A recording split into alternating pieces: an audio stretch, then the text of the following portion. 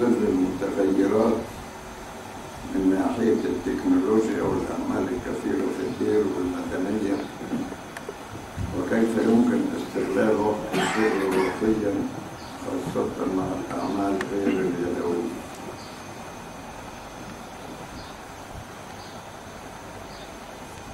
التكنولوجيا ممكن تستخدم في الخير وممكن تستخدم في الرفاهية. يعني مش كل التكنولوجيا تضر الراحل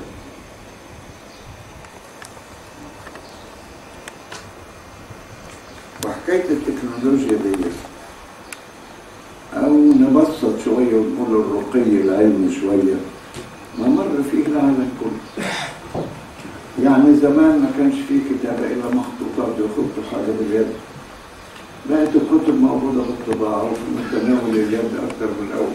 هل ده ضرت الإنسان؟ ما ضرتوش المهم زي ما قال يعني بولس الرسول كل الأشياء تحل لي.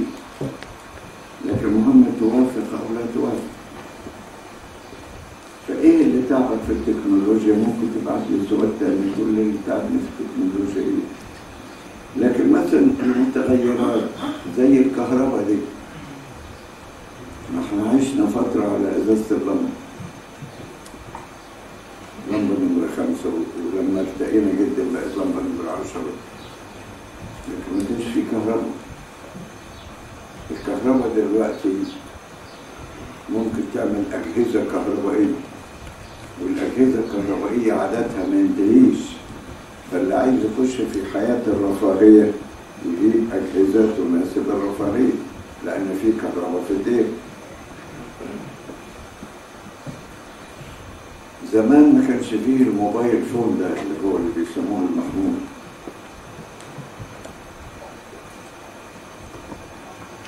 يعني دي التكنولوجيا الضارة ممكن يستخدموها المسؤولون عن الإدارة في الدير بدون ما ينضروا لكن لو استخدمتها صدقوني وأنا بكلمكم كلام ومعلوماته العملية موجودة في مخي في ناس تركوا الرهبنة بسبب ال mobile phone. لا بال mobile phone بنت تيجي زيارة للدير يتعرف عليها ويديني تليفونك وقال تليفوني والصلات مع بعض لغاية لما وجدت علاقة سبب الرهبنة وخلاص.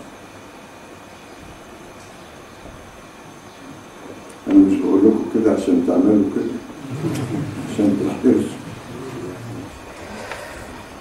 فالتكنولوجيا كأي شيء موجود له فوائده وإذا استخدم استخداما سيئا يبقى له أضراره مش أضرار للاختراع أضرار للاستخدام السيء للاختراع.